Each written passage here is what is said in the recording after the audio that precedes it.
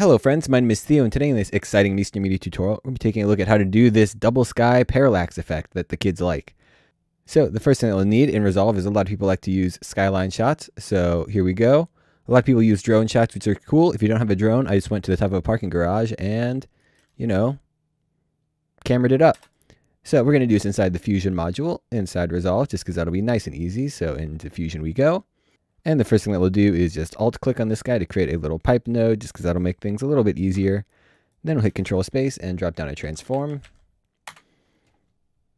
And pipe this in there. And we will control C, control V to duplicate. And we will drop this in there. So now we've got two transform nodes. So we'll view this first one.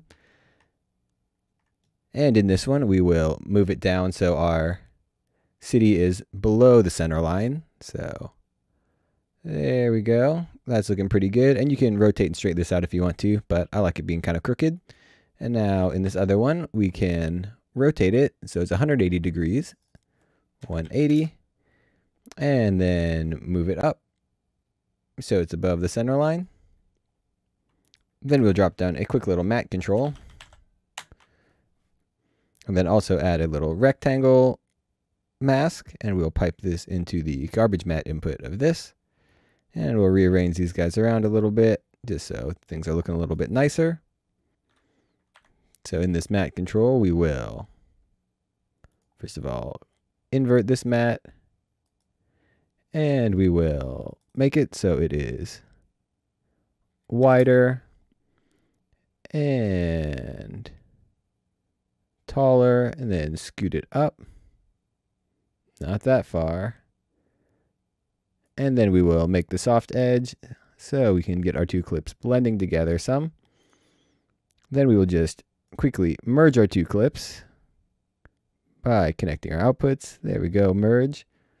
And if we view this, you see it's not quite right, so we can just hit Control T to flip our inputs. And now, I mean, we've got a thing. So this is something kids like to see. We can do a little more to make this more fun, so we will pop in a transform afterwards.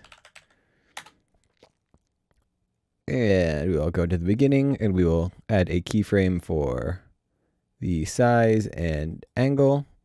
And we'll go to the end and increase the size a bit. And we'll view this node. There we go. And we'll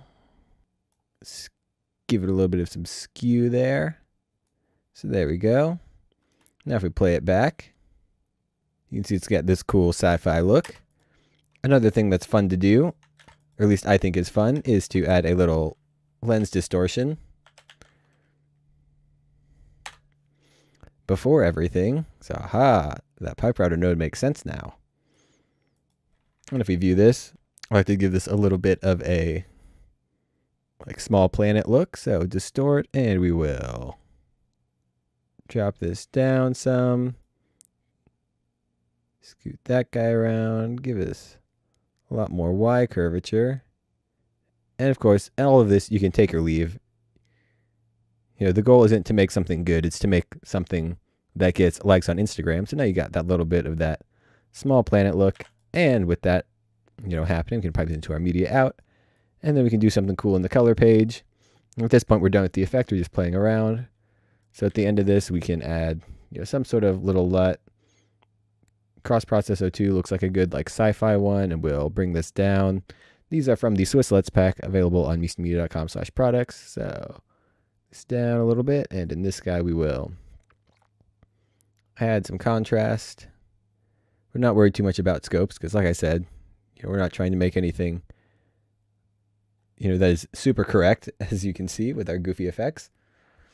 But, you know, that's looking pretty good. Maybe we'll warm it up a little bit beforehand, to give us a little bit of more interesting thing.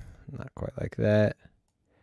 And now that's fun. We can also add in something like a prism blur. And we'll actually do this after the LUT. Drop a prism blur on there, and we'll reduce this a little bit. The aberration distance down some. Aberration strength down some. And we'll blend it in a little bit. And maybe before this, we'll add some light rays to give it a little more contrast. Because, you know, at this point, what the heck? Some light rays. Drop this down. And we'll make our Y position 0.5 so it's in the center. And we'll change this from default to keep shape of source. And bring the brightness down a little bit.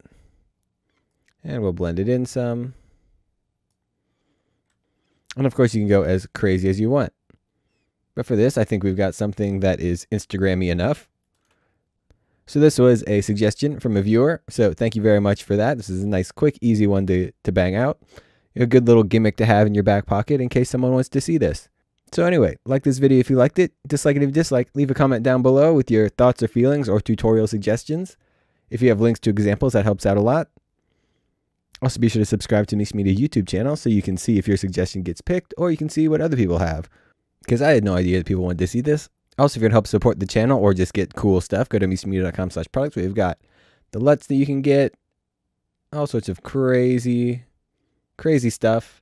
Uh, some great stock footage that'll that'll be cool for stuff. There's even some more free stuff there too, so check that out. Once again, I've been Theo with Miesner Media. I hope you have a great day, and I will see you next time. Bye.